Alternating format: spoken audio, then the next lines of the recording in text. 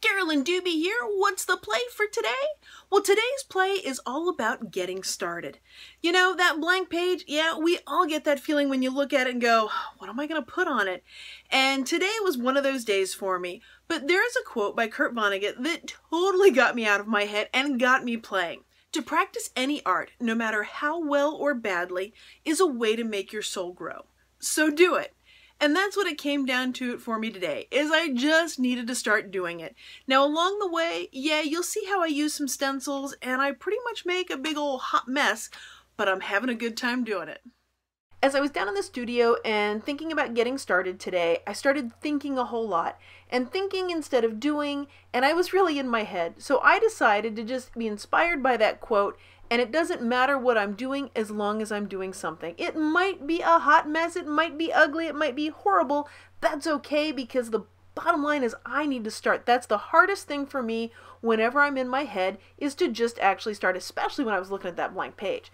So what I did is I just grabbed the stencil called Verbiage that I created for over at Stencil Girl Products and I am stenciling in all the wrong ways with it. I am using a lot of very runny paint or fluid, not runny, it's fluid, it's a very wet paint, the Dylusions paint, and that means it's going to run underneath the stencil.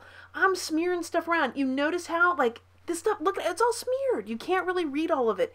This is imperfect stenciling. As a matter of fact, it might even be considered wrong stenciling because I'm going side to side. Things are smearing, things are hard to read, and I'm putting wet paint on top of wet paint, and guess what? I love it. Now, I have no idea where this is going, and if you know, if you've seen many of my videos, you know I don't like to really wait for anything to dry, so I'm not going to wait for this to dry. I have just grabbed some oil pastels, and I'm just kind of playing with them here. I am randomly making marks with absolutely no goal or purpose. You can see the wet paint smearing, but I'm having fun. And since I'm enjoying doing this, I'm going to just keep grabbing more and more oil pastels until it's not as much fun anymore or I get an idea of something else that I want to do. But right now, I'm really having a lot of fun with those oil pastels. And by the way, why is it that I had that quote? Well, it was for Color Me Positive, and I am the guest artist this week over there for their art journaling challenge, and their goal is to fill the year with positivity and creativity, and I think they are doing an awesome job. So go check them out when you get a chance for their weekly art journal challenges. So I started thinking flowers. And to help me get the look of flowers on this very, very busy art journal background that I've created, I pulled out Terri Stegmiller's Bold Flower stencils. Now, she designed these for Stencil Girl products. And what I'm going to do, and by the way, you get the masks and the stencil all together in one. In this case, I'm just using the masks and I am just very carefully, yeah, carefully, uh-huh, very carefully stenciling around it. Yeah, you're not seeing anything careful on this, are you? And you know that. One thing that I am doing so that my lines stay crisp is I am pulling away from the mask whenever possible. That way paint doesn't run underneath it, but I can still use a fair amount of paint that way, I basically can do everything in one coat, one bit of coverage, because for me to actually take the time and go over things multiple times or be careful about it, well, that's just not as much fun for me. And right now, I'm really all about just having the fun playing around with color in the art journal. Now, if I wanted to completely cover and obscure the background, because you can see bits and parts of it are peeking through, you can still see that there's something going on back there underneath the purple. You can actually get it all covered up by putting a lot more paint on it or coming over and doing like a second coat. I'm not going to do that. I actually do like having that background peeking out some because frankly, I want to see it. I had fun making it and I don't want it completely covered up. Now, since I haven't waited for anything to dry, if I want to put some outlines around these flowers, my best bet is to use some kind of fine liner. So I'm basically taking paint and drawing around it. I think there's ink in this one or high flow paint, and I keep clogging the no clog tip. Yes, these truly are no clog tips unless you do what I'm doing.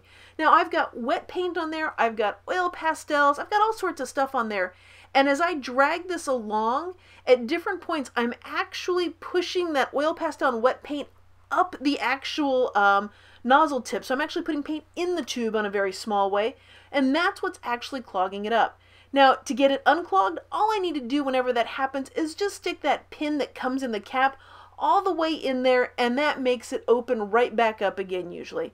Now keep in mind, this is happening because I'm the one that's doing this. I'm pushing down fairly hard as I'm drawing around this, and that's what's forcing stuff to go up the nozzle instead of come out the nozzle.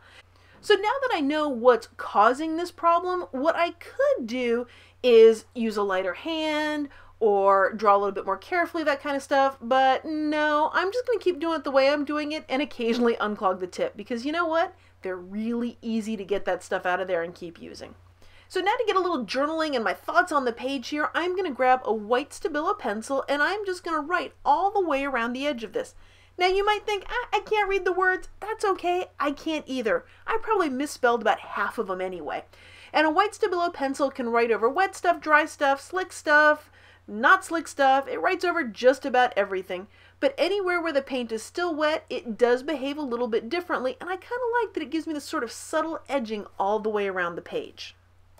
This page is just about complete for me, but the fun doesn't have to stop here. If you want to play some more, if you want some more videos, head on over to the blog at a colorfuljourney.com where I have got a newsletter where there'll be a free video waiting for you as soon as you're signed up, as well as a free workshop called Permission to Play.